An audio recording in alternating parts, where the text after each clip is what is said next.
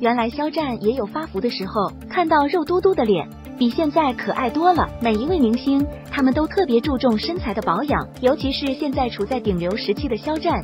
之前刚刚进入娱乐圈的时候，还有一点婴儿肥，但是现在他瘦的却让人心疼。尤其是前段时间出席颁奖晚会的时候，刚刚出场，很多人就被他的身材给吸引住了。看来私底下没少练习举铁呀。我们看到的永远都是肖战减肥之后的样子，却不知道他刚刚进入娱乐圈，也有一段时间处在发福。的状态，快让小编带领大家一起去看看过去可爱的模样吧。这是他刚刚进入娱乐圈没有多长时间时候的画面，当时没有现实的知名度，但是也收获了很多的粉丝。凭借自己帅气的外表，再加上甜蜜的声音，有多少女孩子不喜欢呢？不仅如此，当时他还比较喜欢粉色的上衣，穿了一件粉红色的 T 恤，搭配着短裤，一身休闲的造型，却难以遮挡自己帅气的容颜哦。私底下，他也特别喜欢听歌，无时无刻都把自己的耳机放在耳朵上。但是旁边很多粉丝都送给他礼物，当时的他没有现在被围堵的困扰，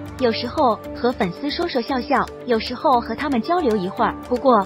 大家的关注点始终都在他的身材上，尤其是肉嘟嘟的脸，比现在要可爱多了。现在的他是帅气，而过去的他是可爱，各有各的特色，各有各的优点哦。不过看到发福之后的肖战也是非常帅气的，很多人都说男明星发福之后形象和气质都一落千丈，但是在肖战的身上，我们丝毫看不到任何扣分的地方。而且他说肉嘟嘟的脸为自己也增分不少，可爱和天真都写在脸上，并且那。个时候，但肖战反而更加接地气一些。只是现在太多的外在因素，让自己无法和过去一样自由自在。不过全新的一年，也希望肖战快快乐乐、平平安安。当然，也希望他不要再减肥喽，健康才是第一位的。看到发福之后的模样，也完全不会影响他的颜值哦。